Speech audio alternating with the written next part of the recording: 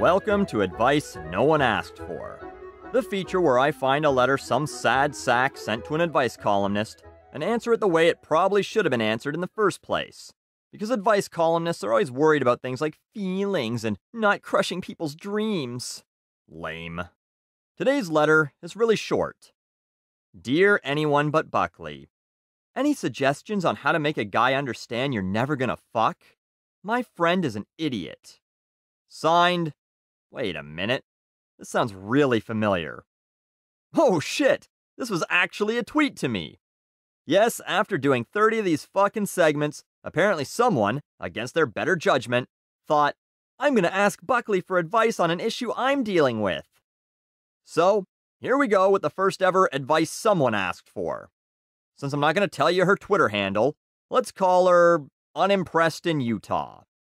So, a guy you spend time with wants to slide inside you, and you don't really want to do that for whatever reason you may have.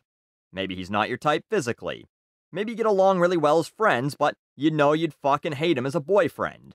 Maybe you've known him too long and you think of him like a brother, and since you're not actually from Utah, I just made that up, you don't want your brother's penis rooting around inside of you. Whatever the reason, you gotta just pull the plug on the friendship. Because it's fucked now, fucked as hard as he'd like to fuck you.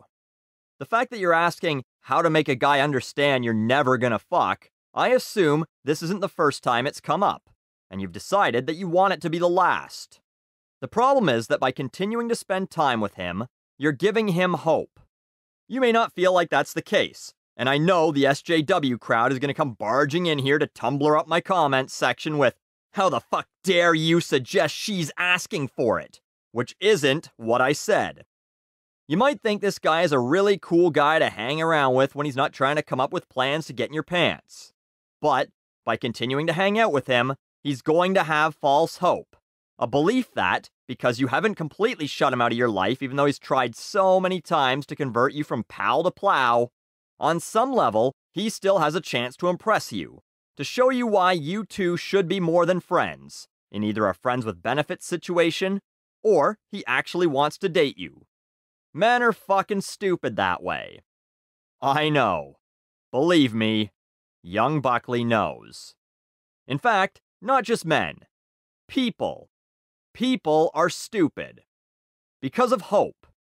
Hope is the thing that drives dumb fucks to buy lottery tickets every week instead of putting that money aside and earning way more in a lifetime than they ever likely will on the fucking Powerball. Hope is the thing that says, Fuck you, reality. I don't care what you have to say. I have this stupid belief in my head that, despite all odds, I'll come out on top. And you won't. 100% the fault of the person with hope, for sure. But by continuing to hang out with that person, knowing that they want to fuck you, you're enabling that. And you can guarantee that that's what they're always thinking about. You're talking about your day at work? They're thinking about how they'd like to work you over. You're talking about a new movie that looks good? They're thinking about how fun it would be to get a handy in the back of the theater from you. You're talking about a new dress you saw that you think you're going to buy? They just came, all over themselves. Now, that's not to say that the moment a friend tries to put the moves on you once, it's all over. But at that point, if you're not interested, you have to say, Whoa, listen, I don't think of you that way. I want to be your friend, but if you want more, we probably shouldn't hang out anymore. Understand?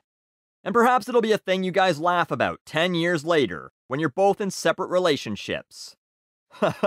hey, uh, Celeste. Remember that time that I was a thirsty dude trying to get my dick wet and I came onto you? what the fuck was I thinking? Oh yeah, Maverick, you were a fucking moron. Shit, I wouldn't fuck you with your dick. And you laugh and laugh. But if after you shut him down once, and they still keep trying, it's clear that they don't respect you as a friend, and they only see you as the most easily accessible semen depository without having to actually go out and find someone. And if you're not letting go because you think, well, at some point I might be desperate enough to want that, so I should probably keep him around.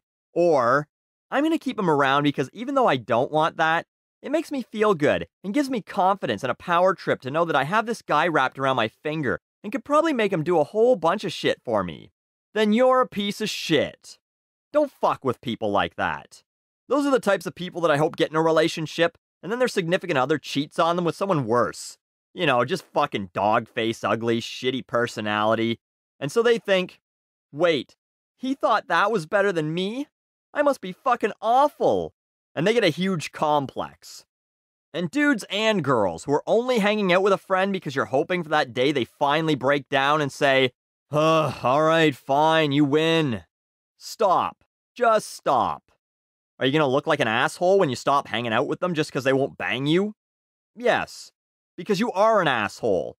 A shitty person that only hangs out with someone for that 0.1% chance that maybe, someday, you'll wear them down so they'll have pity sex with you. So just end the friendship. That's the only way they'll understand when you stop spending time together, and make sure you tell them it's because they wouldn't stop trying to bang you. This friendship is already over anyway. It's on life support. It's never coming out of that coma. So save the hospital bills, pull the plug, and bury that friendship in a shallow, unmarked grave, never to be visited again. I'm Buckley, and you're welcome.